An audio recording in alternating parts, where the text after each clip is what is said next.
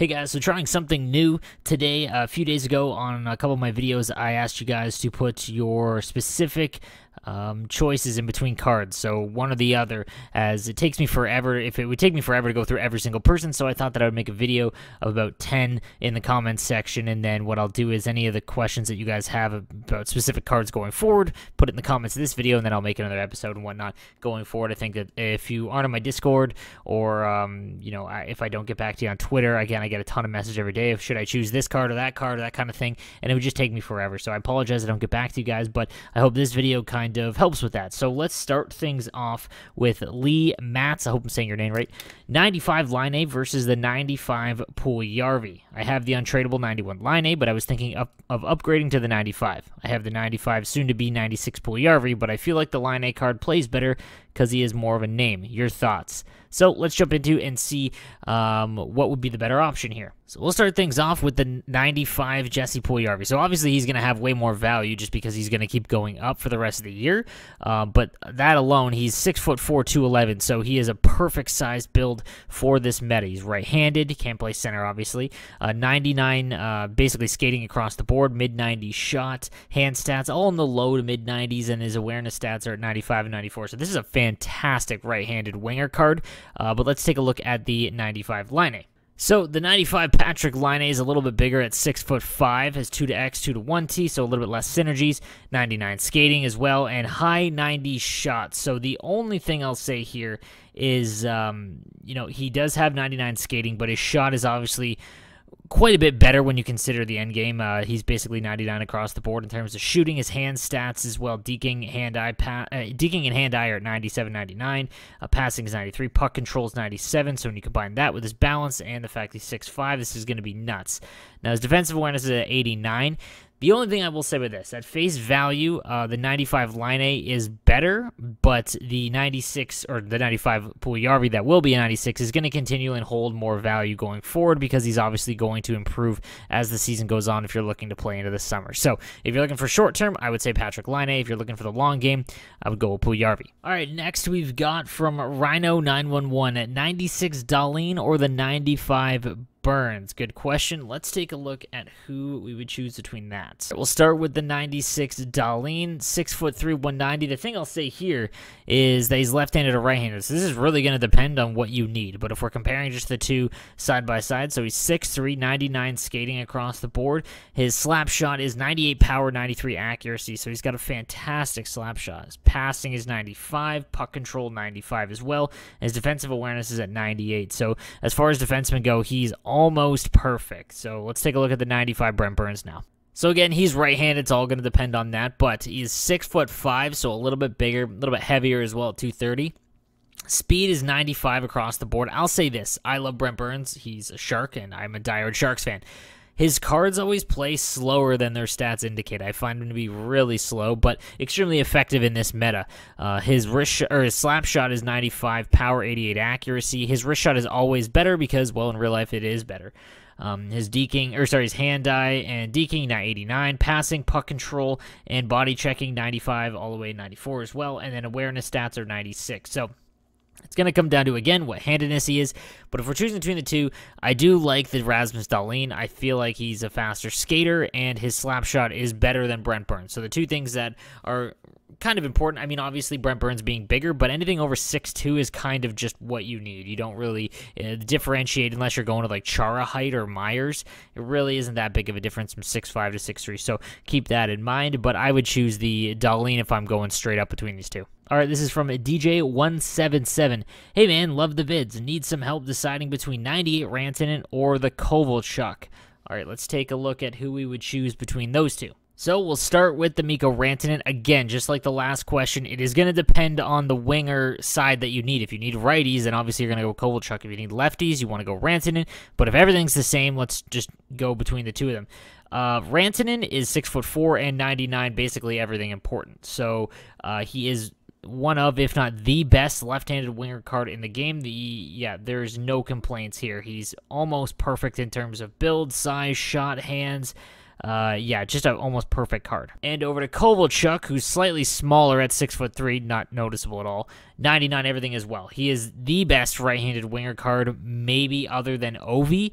Um, but again, this Kovalchuk is just as good, if not, you know, it's they're the exact same. They're one A for each of the uh, sides that you need. So again, this is really going to depend. The only thing I will say is that Kovalchuk's defensive awareness is 89, which isn't a backbreaker, but you know there are times that you know he might get uh, slightly lost in the defensive zone compared to Rantanen, who's got a little bit higher. But uh, yeah, this is almost a dead heat. So. All right, next up we've got Joe Rolf, 95 Kucherov, or spend 140k more for the 95 Laine. All right, let's take a look at the two.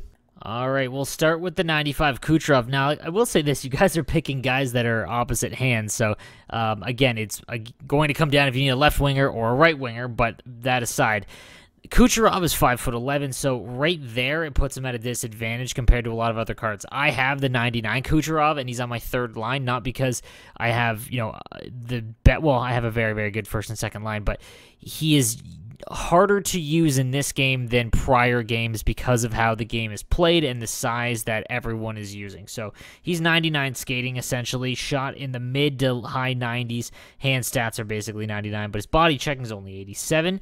Offensive awareness is 99. Like this is a very, very good high end card. I will say this unless you are someone who scores off the rush or goes end to end, Kucherov is probably not going to be the best use of how you play the game. If you cycle a ton and you hold it in the zone looking for those one timers, the Kucherov build is not going to be as effective as he was in past games. Again, we'll take a look at the flashback 95 Laine. He is a perfect build. Six foot five, very big, 99 skating, 99 shooting. If we're choosing between the two, I would spend the 140k more for the 95 Laine, as you will never have to replace this card. He is a, you know, you could use him as a top four winger, right-handed winger card for the rest of the game. And the only way you're upgrading him is very, very nitpicking things. So um, there's very few right-handed winger cards that are better than Laine. All right, next up we've got Nicholas Tuomola, 95 Lucic, or the 95 Lafreniere. Even though Lafreniere isn't too big, his 91 Winter National card was sick, so don't know, tough choice. So I'll say this, I loved Laf's Winter National card as well,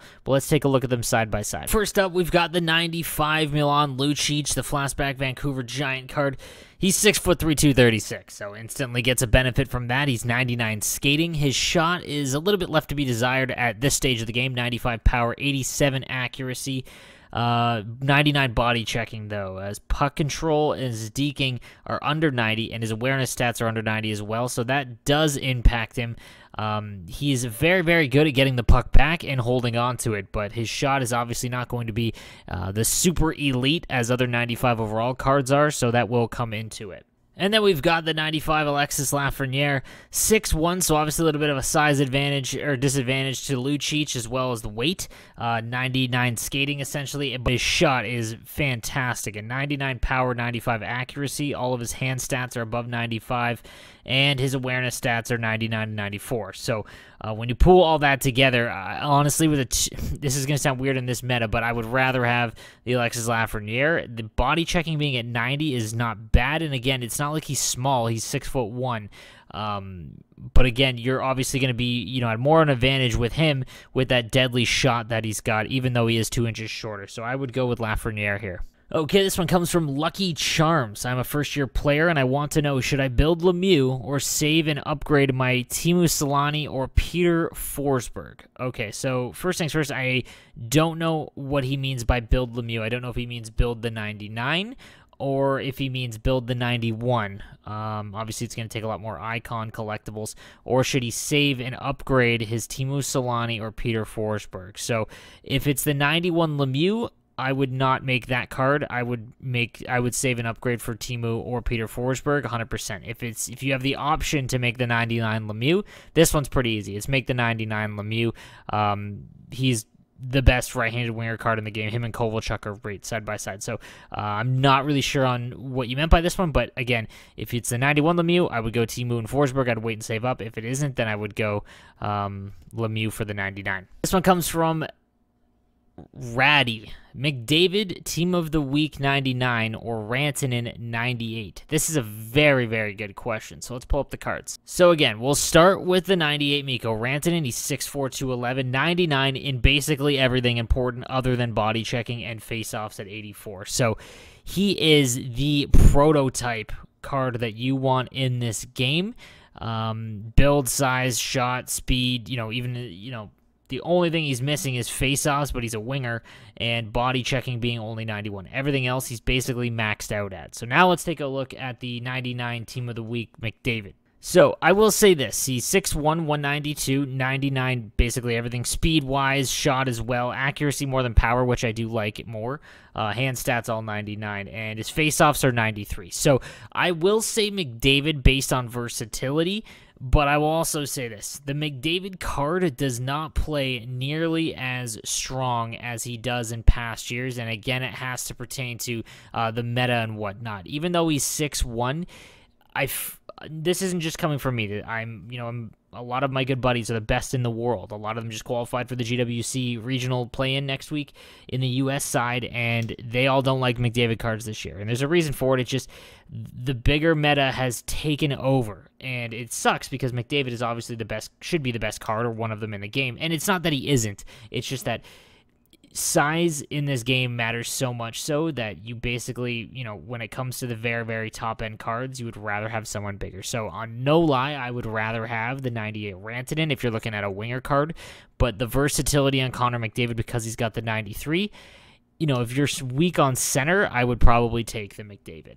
All right, we've got one from Steve N. My team is pretty maxed out, but I have a question about D. So I have Tyler Myers, and he's my lower overall by far. And the question should I upgrade the currently unused Moritz Seider 91 and replace the Myers card? So if you have this one's really easy to me. Let's pull up uh, let's pull up the uh, Moritz Seider. All right, so this one's pretty easy. Here's the 98 Moritz Seider. He is one of the top three best right defensemen in the game. The, the Tyler Myers is nice because he's gigantic, uh, but this is going to be on your team for the rest of the game, and regardless of what else comes out, there's very few cards that can end up being better than him. Obviously, 99 Burns and things like that, but this card is fantastic. I would 100%, especially if you already have the 91 Moritz Seider, upgrade to this 98. That is 100% the play. This one comes in from Kyle Collington. My girlfriend says, Ask him what his wife's name is. Tell her I said hi. It's Skyla. She says hi back. Alright guys, so that's going to do it for today's episode. Let me know what you think in the comments section down below. If you'd like to see more of these videos, again, there's I've hit a point now where on Twitter, Discord, YouTube comments where I would literally just be answering these kinds of questions all day long. Especially I also in my stream as well. If, speaking of the devil, if you want real time advice, the best way is probably visit me in stream. I stream 9 to about 3 p.m. Monday to Friday, as well as on the weekends on Twitch. Twitch link is down below. Um, that's probably the best. Just hop into my stream and I will give you an answer. But put your comments and your card questions in this comment section down below. As long as you subscribe, that's all I ask. Um, I will, you know, do the next video and I'll pull all 10 or so of your questions and see if I can't help you guys out. So again, thank you guys for watching and I'll see you guys next time. Have a good one.